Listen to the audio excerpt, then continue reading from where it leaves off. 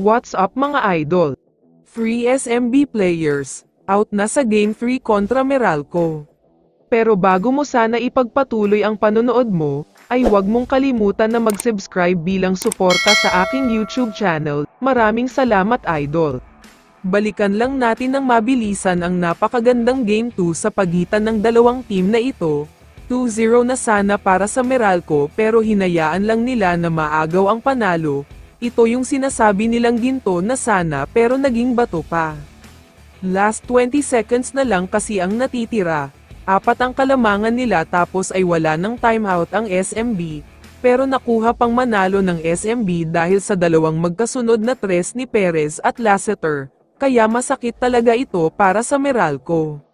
Naniniwala nga ang lahat ng mga sports analyst na posibleng ito ang turning point ng serye na ito dahil komportableng 2-0 na sana para sa Meralco pero nalagay pa sila ngayon sa alanganin dahil 1-1 na at nasa SMB ang momentum. Samantala, kahit ganon ay hindi pa rin naman dapat malungkot ang Meralco dahil sa paparating na Game 3 ngayong linggo, hindi pa rin kumpleto ang lineup ng SMB at may tatlong players ang hindi maglalaro.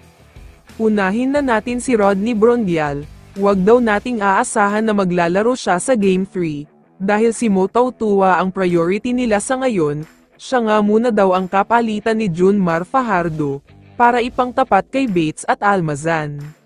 Ang isa pang player na hindi pa rin maglalaro para sa SMB ay si Muscleman Vic Manuel, kahit nakasuot daw siya ng SMB uniform, hindi pa rin daw siya isusugal ni Coach George dahil sa injury na nakuha niya.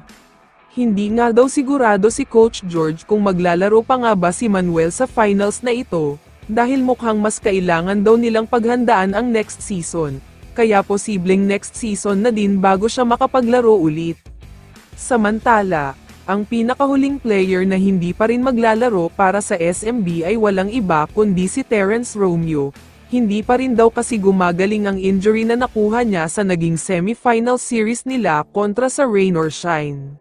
Ayon mismo kay Romeo, hindi daw talaga niya maintindihan ang nararamdaman niya ngayon, gustuhin man daw niyang maglaro pero ayaw siyang bigyan ng clearance ng doktor nila, kaya wala daw siyang magawa kundi manood. Pero sa tingin ko naman, kahit wala ang tatlong players na ito para sa SMB, sapat na ang momentum na hawak nila para makuha ang Game 3, bagsak talaga ang kumpiyansa at moral ngayon ng Meralco, kaya malaki ang chance na SMB ang mananalo dito. Kaya naman kung ikaw ang tatanungin idol, ano ang masasabi mo sa balitang ito?